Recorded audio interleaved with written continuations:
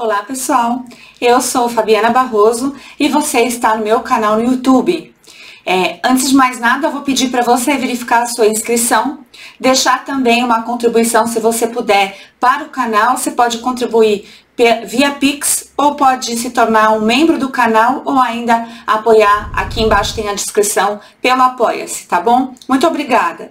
E hoje eu vim falar a respeito das possíveis, né, é, para onde o presidente Bolsonaro pode ir, né, qual partido político irá abrigar o presidente Bolsonaro e sua base, porque o presidente já tem alguns parlamentares que irão lhe acompanhar para onde for, e mais né, as outras vagas que nós brasileiros iremos ajudar nas eleições de 2022. Eu estive no Congresso nesse final de semana, lá em Ribeirão Preto, o Conacom, aliás, um beijo a todos que participaram do congresso, é, e foi importante, tivemos pessoas importantes ali participando, como, por exemplo, o ex-ministro do Meio Ambiente, Roberto Ricardo Salles, tivemos também Carla Zambelli, tivemos bastante personalidades ali, mas o mais importante é, foi com certeza a participação do presidente Bolsonaro, que entrou através de uma ligação, é, e, e pôde falar com a gente através de um vídeo ali.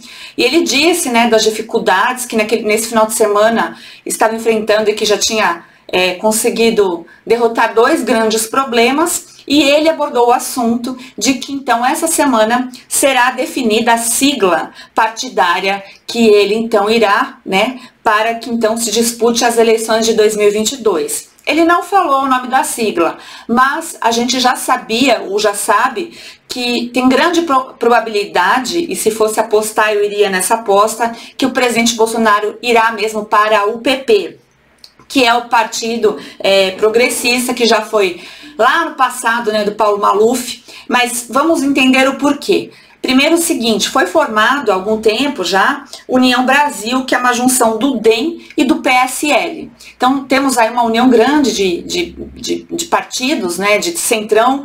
Gente, nós não temos partidos de direita né, no Brasil, já, eu já falei a respeito disso.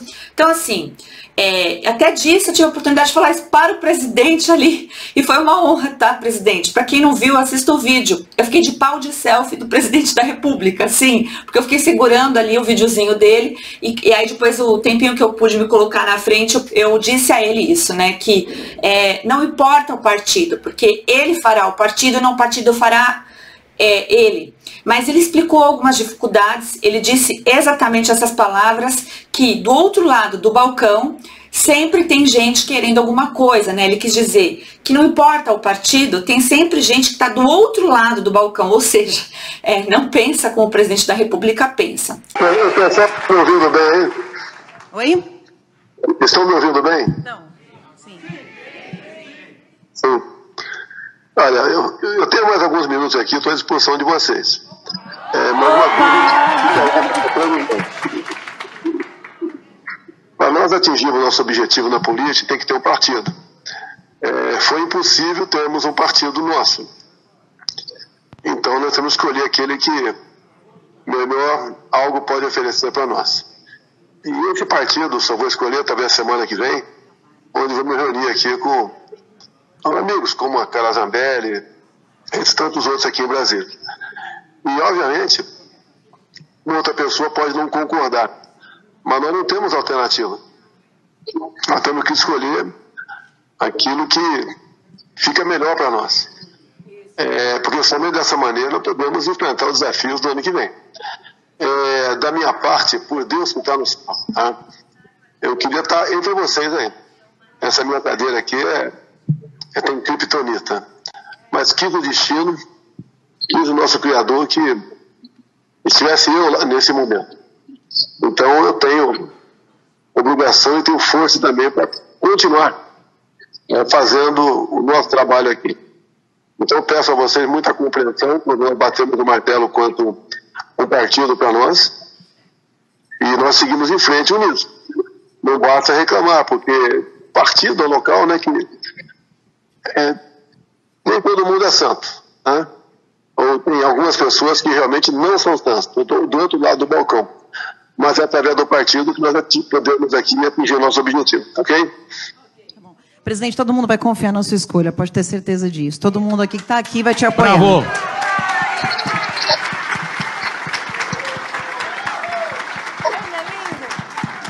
Obrigada, viu, presidente? Bom domingo. Presidente, não é para campanha não, tá? Mas a gente confia mesmo no senhor. É o senhor que faz o partido, não o partido que faz o senhor.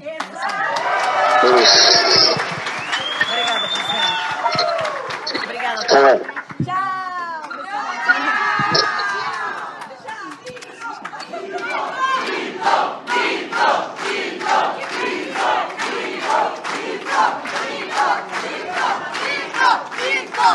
Ah, desligou! Ele desligou! Ele desligou porque eu tinha falado tchau já, desculpa. Carla Gente, Zambelli. desculpa, eu zoei todo o negócio, agora vamos sentar todo mundo. Mas eu tenho que agradecer. Eu estive com o presidente nas minhas mãos.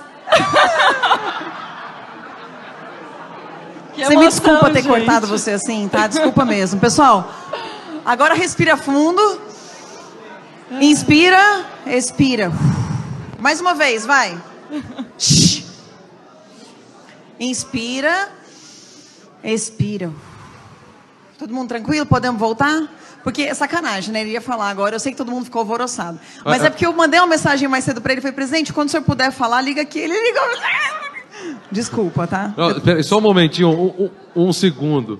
Você vai lá, põe telão de LED, estrutura, tudo. Quem sabe o presidente pode aparecer, a gente tá todo equipado, né?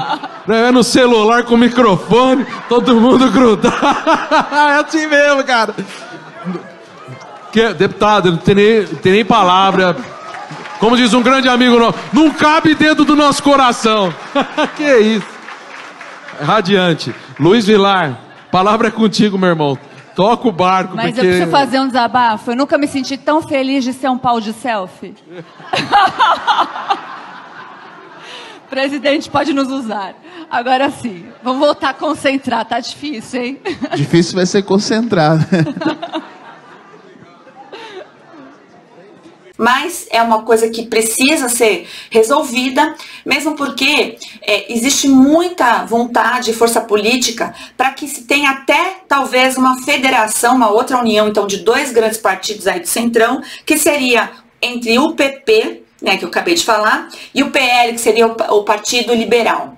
E aí, né, teria assim força para é, fazer frente a esse União Brasil que já foi formado então pelo DEM e pelo PSL. Importante ressaltar que sempre está correndo pela lateral o PTB, né, do Roberto Jefferson, que tem aqui na, na seccional de São Paulo, é, na regional de São Paulo, o Otávio Facuri como presidente. Isso também, independente da onde, para onde o, o presidente da República for, é, o PTB irá apoiar, né, naquela forma de coligação ali, as decisões do presidente da República. Isso é muito importante, tá? E aí também tem uma notícia aí que o próprio Salles, a Tereza Cristina e o Fábio Faria estariam então cogitando a se filiar já ao PP. Também tive notícias de bastidores que o, que o Marcel Van Hatter também poderia, já estaria mirando para se filiar ao PP. E a base e todo o cálculo que é feito é de que pelo menos 35 deputados federais já fariam, já migrariam. E assim, depois eu já vi que tem até outras contas de 53. Então, ou seja, já há uma grande movimentação para essa organização e preparação para as eleições de 2022. O que eu quero deixar aqui bem claro, né? Foi tentado a Aliança pelo Brasil e por diversos motivos não foi não foi para frente esse projeto, não pelo menos por enquanto.